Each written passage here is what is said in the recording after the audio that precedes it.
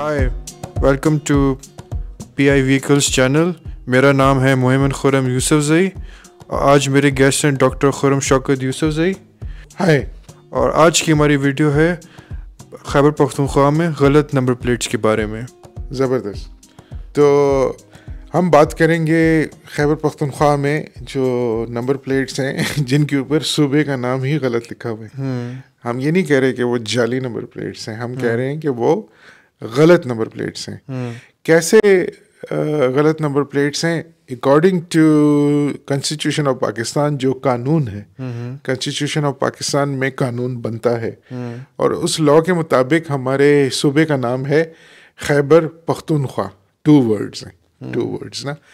तो two words का मतलब है कि अगर आप उसके एब्रीवेशन लिखेंगे तो वो लिखेंगे के पी नॉट लिखेंगे के पी के अगर आप के पी के लिख रहे हैं तो इसका मतलब है कि आप उसके साथ कश्मीर को भी शामिल कर रहे हैं। यानी Khyber Pakhtunkhwa in Kashmir. Because Pakhtunkhwa is one word Pakhtunkhwa का मतलब है द लैंड ऑफ़ पश्तून्स ठीक है? और खैबर पख्तूनख्वा का मतलब है कि वो लैंड ऑफ़ पश्तून जो खैबर के बाद है। तो ये सूबे का नाम है।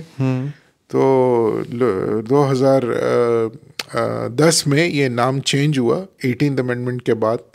तो जब ये नाम चेंज हुआ तो लोगों ने इसको एक्सेप्ट कर लिया। लेकिन कुछ अजीब से लोग हैं मैं इनको जाहिल ही कहूँगा जो उसको के पी के कहते हैं और अक्सर मीडिया में भी के पी के के पी के आप प्रेजेंटर्स को भी देखेंगे कि वो लगे होते हैं के पी के के पी के ख़ासकर ये जो मीडिया है पाकिस्तान में वो इसमें मुलविस है इंतहाई नालायक किस्म के एंकर्स और वो हैं उनको के पी के के बल्कि ये नालायकी सिर्फ़ एंकर्स और इन लोगों तक महदूद नहीं है बिकॉज़ पख्तूनख्वा के लोग कहेंगे कि खैबर पख्तूनख्वा लेकिन ये पॉलिटिशियन भी देखें एक पॉलिटिशियन ने तो मेरे ख्याल में के भी कह दिया था हमारे सूबे को।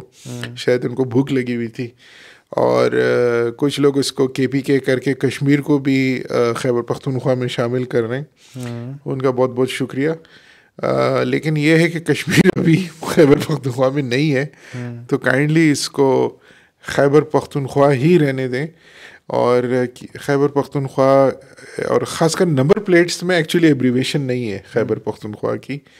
ऑफिशियल जो सही नंबर प्लेट हैं अगर आप जनवन नंबर प्लेट लेते हैं तो वो उस पर खैबर पख्तनख्वा पूरा फुल लिखा होता है। लेकिन जिस पे एब्रीवेशन लिखी हुई है के पी के तो वो जेनवन नहीं है। वो कानून के मुताबिक नहीं है। ये जो वायलेशन है वो लोग भी कर रहे हैं और मैंने तो गवर्नमेंट की गाड़ियों पे भी के पी के लिखा हुआ देखा है। कि चीफ मिनिस्टर और शायद उनकी गाड़ी पे भी लिखा होता है और बड़े बड़े ब्यूरोक्रेट्स हैं यहाँ पे फ़ख्र से। गाड़ियाँ चला रहे हैं ऑफिशियल नंबर प्लेट जिनमें के पी के लिखा हुआ है। मतलब हैरत की बात है कि जो कानून को, जिनको वो करना है, वो भी इसमें शामिल हैं। हम कोशिश करेंगे कि हमें जब नज़र आए, हम उसकी पिक्चर लेकर आपको दिखाएँ कि ये हो रहा है। बल्कि जहाँ पे ये नंबर प्लेट्स बनती हैं, क्योंकि ये प्रॉब्लम क्यों आती है? क्योंकि जो ये वो डिपार्टमेंट है जो नेम नंबर प्लेट्स इशू करता है वो लेज़ी है वो नंबर प्लेट इशू नहीं करता टाइम में। तो लोग क्या करते हैं कि बाज़ार से नंबर प्लेट बनाते हैं मजबूरन। तो जब वो उधर बनाते हैं तो उधर जो वो बंदा बैठा हुआ है वो तो अनपढ़ है वो तो उसने के पी के ही लिख देना है। कि यार एब्रीवेशन ही ठीक है मैं क्या पूरा शायद वो अपने पैसे बचा रहा होता है सारे वर्ड्स पे शायद बहुत ज़्यादा पैसा लग रहा होता है।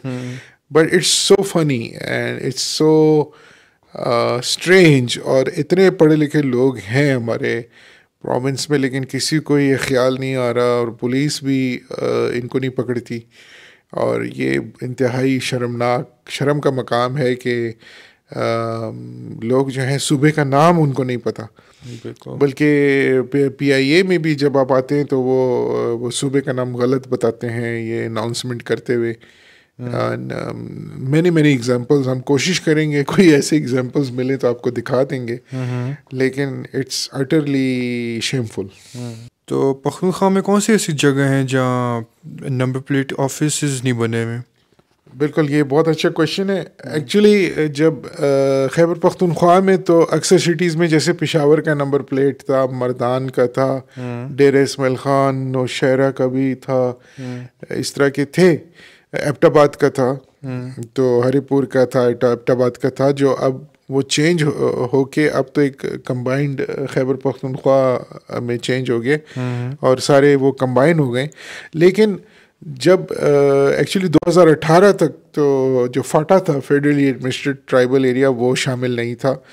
तो वहाँ पे गवर्नमेंट uh, ने पचहत्तर साल हो गए कभी उनको गाड़ी का नंबर uh, जैसे खैबर एजेंसी है उसका नंबर प्लेट नहीं है बाजूड़ का नहीं है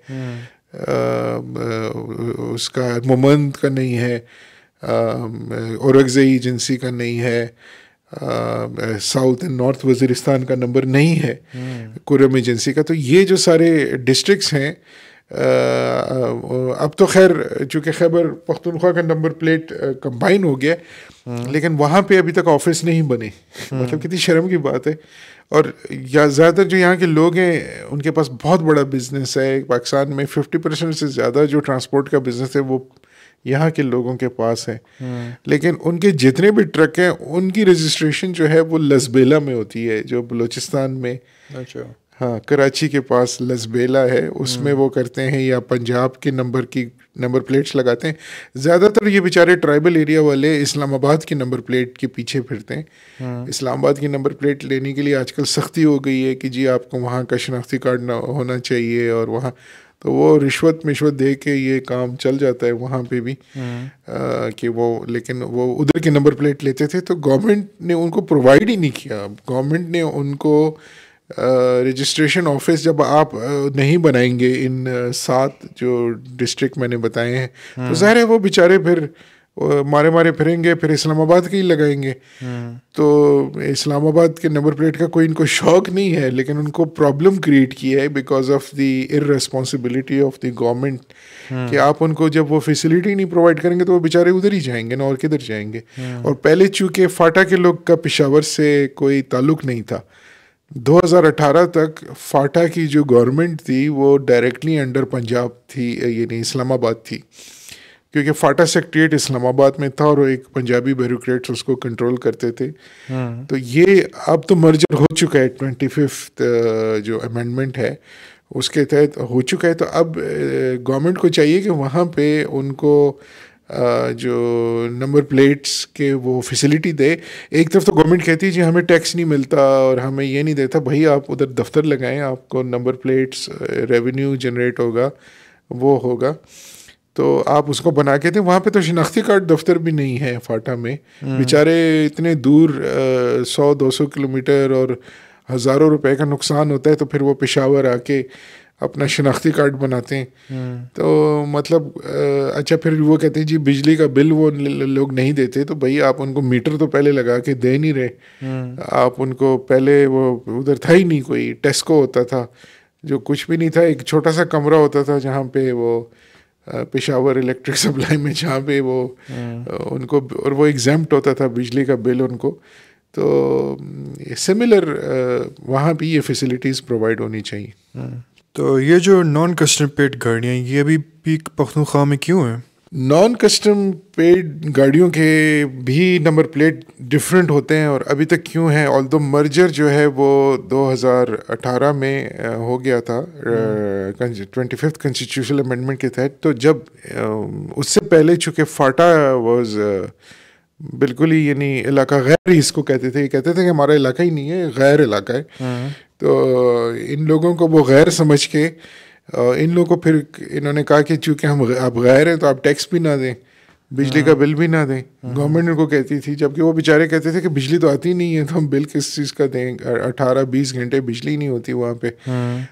तो अब अब वो कह रहे हैं कि हम बिजली का बिल भी देना है लेकिन मीटर नहीं लगा के देते सिमिलर यही एटीट्यूड नंबर प्लेट में भी है कि जैसे जो भी पुराने ट्राइबल एरियाज़ हैं उसमें अभी तक एनसीपी उनको फ़ौरन ये कोई ऐसी स्कीम बनाएँ कि वो कन्वर्ट हो जाए। उन, अब उनसे पूरा टैक्स ना लें आधा टैक्स ले लें एक बटा तीन ले लें लेकिन कन्वर्ट हाँ। करके ताकि वो भी आपको रेवेन्यू जनरेट करें और मतलब ये ख़त्म होना चाहिए।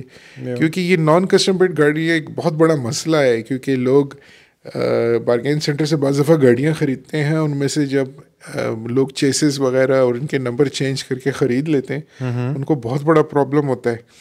क्योंकि कस्टम वाले और वो तो एक साइज़ वाले पकड़ लेंगे उस गाड़ी को तो उस बेचारे के पैसे ज़ाय हो जाते हैं उनको क्या पता है कि ये आ, इनके ये चेसिस नंबर और ये चेंज हो गए और कागजात हाँ। किसी और गाड़ी के होते हैं नीचे नॉन कस्टम पेड गाड़ी होती है हाँ। और लोगों को मुसीबत है तो गवर्नमेंट को ये एनसीपी का सिस्टम ही ख़त्म करके उनको भी नंबर प्लेट इशू करनी चाहिए they should be given Khyber Pakhtunkhwa number plate immediately और उन उन जो जो जिन इलाकों में ये एन सी पी खड़ी वो यही ट्राइबल एरियाज़ हैं hmm. और ये ज़्यादातर ये ट्राइबल एरियाज़ हैं फिर ये पाटा भी है एक provincially admitted administered tribal area है जो अभी भी गवर्नमेंट ने फुली मर्ज नहीं किया. आ, मतलब कागज़ों में कॉन्स्टिट्यूशन में हो गया है लेकिन टू फोर्ट ये ले, लेकिन अमली तौर पे उस पर पैसा नहीं लगाया जा रहा क्योंकि फ़ंड नहीं दिए जा रहे वफाक से हम्म। इस्लामाबाद से फ़ंड नहीं दिए जा रहे तो इस पर अगर काम किया जाए तो एन सी पी गाड़ियाँ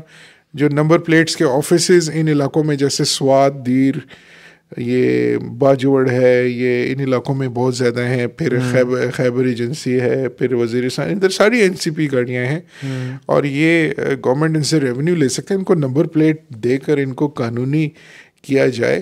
हम्म। मेरे ख्याल में गवर्नमेंट खुद नहीं चाहती टैक्स लेना शायद। और गवर्नमेंट खुद नहीं चाहती गवर्नमेंट खुद इनक्रेज करती है कि ये गैर कानूनी काम हो मुझे ये लगता है। तो thank you very much doctor Khurram Shaukat Yusuf ji. शुक्रिया आपका भी थैंक यू और प्लीज़ हमारे चैनल को सब्सक्राइब करें और लाइक करें हमारी वीडियो को।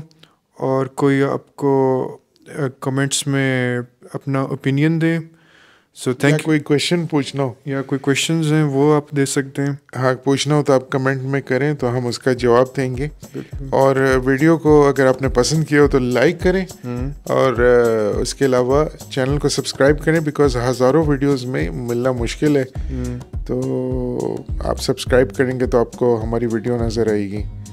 तो बहुत बहुत शुक्रिया। थैंक यू और अल्लाह हाफिज़